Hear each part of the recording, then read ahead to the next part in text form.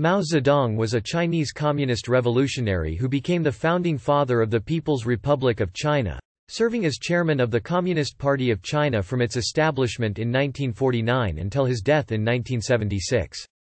Fun fact. Mao Zedong was an avid swimmer, and once swam across the Yangtze River at the age of 73.